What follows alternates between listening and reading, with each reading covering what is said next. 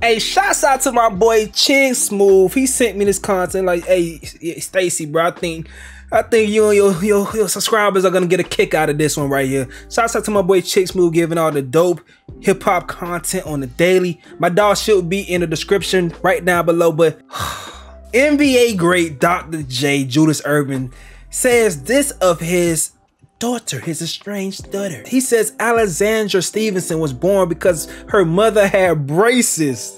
Nigga, what the fuck? Hey, when dudes get old, bro, that filter come right the fuck off, nigga. That shit straight toxic into your lungs. Just, oh, anything they say, that shit come full cycle. So we gonna get into this article. This is gonna be real interesting, but um apparently he has a estranged daughter that's kind of dope as hell you feel me?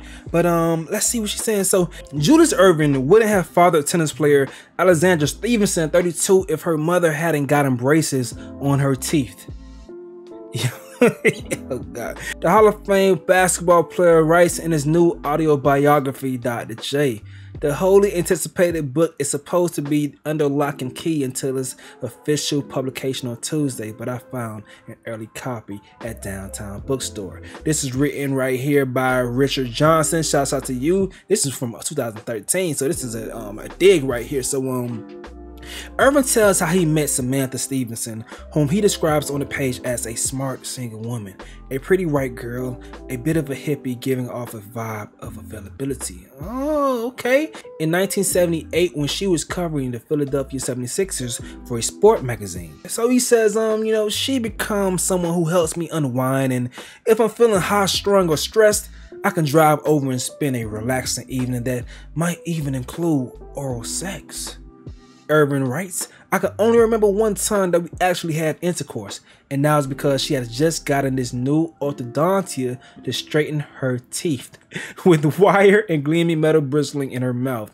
Oral sex was not an option. But Erving, known for his Dante de Blasio like afro and his thunderous dunks, felt terrible in 1999 when his and Samantha's out of wedlock daughter, playing in the semifinals at Wimbledon, was caught in media firestorm over her famous father. I paid a terrible price for my sins, and there is some justice in that. But should Alexandra have to pay the price? What sin did she commit?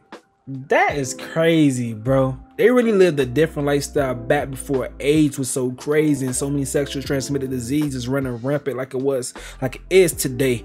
They were living loose, and I'm pretty sure that, you know, Thank you for the subscription, Mark Jardine. But um, I'm pretty sure you know people was living wild back then. That is a crazy little quick little situation right there. But um, you gotta understand, man. That groupie life is something. A lot of people don't understand how that shit go. A lot of you guys do not understand how easy it is for some men, bro. It's how easy it is, and um, it is not just superstar athletes and entertainers like people on the lower level just for a little bit of clout. Get this type of love and chicks would drop that neck in a sec for any little any little type of gain or any type of satisfaction just for getting with a certain type of guy. Like some of these chicks are just they just like that. They just like that. But this is wild way to just um deliver the stories tell about the conception of your daughter. Like this is wild. But um hey man i understand. It is what it is. It's the truth it's the truth. Shouts out to Dr. J, one of the greats, man. I'm gonna go and wrap this video up. Once again, shouts out to Chig Smooth for sending this to me so I can check this out with you guys, man. Um, listen, I'm listen, it's your boy this and I fuck with you. Why is that? Because you you fucks with me.